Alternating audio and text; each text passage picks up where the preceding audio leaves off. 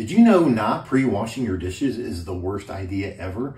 That's right, ever. I know the appliance manufacturers and the detergent manufacturers are saying in all their commercials, all you gotta do is do this and everything will get washed off.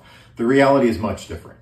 What's gonna happen is all that debris is gonna go inside your dishwasher and there's a filter in the bottom. It's gonna clog that filter and it's either gonna flood your kitchen or your house, clog up your drain lines, or burn the appliance out. Think about it this way. Would you shred a block of cheese and throw it down your drain? Or would you pour a whole bowl of pasta down your drain? No, you wouldn't. While you don't need to completely wash all the dishes, at least wipe all of the debris off and throw that in the trash. But if you follow their instructions, you're gonna end up calling a guy like me to either replace your appliances or unclog your drains.